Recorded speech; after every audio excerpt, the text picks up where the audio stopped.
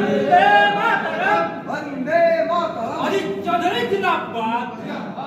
অভিষেক জেলা ছাড়তে এবার তৃণমূল ছাত্র পরিষদে ভাঙন। ডোমকল কলেজ ইউনিট ও বহরমপুর থেকে প্রায় শতাধিক তৃণমূল ছাত্র পরিষদ কর্মী এদিন ছাত্র পরিষদে যোগদান করেন। এদিন দুপুরে জেলা কংগ্রেস কার্যালয়ে তাদের হাতে জাতীয় কংগ্রেসের পতাকা তুলে দেন প্রদেশ কংগ্রেস সভাপতি অধীর চৌধুরী। গতকাল ভগবানগোলায় প্রায় ছশো জন তৃণমূল কংগ্রেস কর্মী কংগ্রেসে যোগদান করেছিলেন অধীর চৌধুরীর হাত ধরে।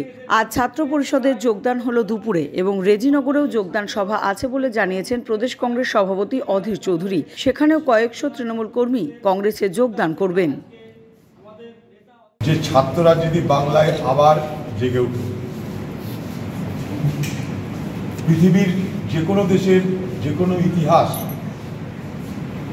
রচনার সব থেকে বড় কারিগর হচ্ছে ছাত্ররা।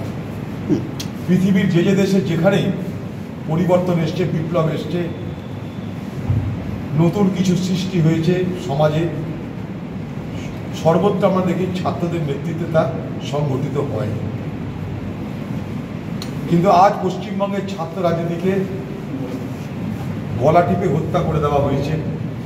কলেজের ছাত্রদের রাজনীতির অধিকার দেওয়া হয় না কেটে নেওয়া হয়।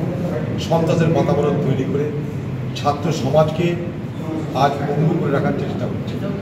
তার বিরুদ্ধে আগামী দিনে সারা পশ্চিমবঙ্গের ছাত্র সমাজকে গর্জে উঠতে হবে। যেভাবে আজকে মুর্শিদাবাদ জেলার বিভিন্ন ব্লক থেকে ছাত্ররা কংগ্রেস ভবনে এসে কংগ্রেস দলে যোগদান করলেন। আগামী দিনে এইভাবেই ব্লক থেকে মহকুমা মহকুমা থেকে জেলা জেলা থেকে অন্য জেলা এইভাবেই ছাত্র সমাজ তার বিস্তৃতি লাভ করুক।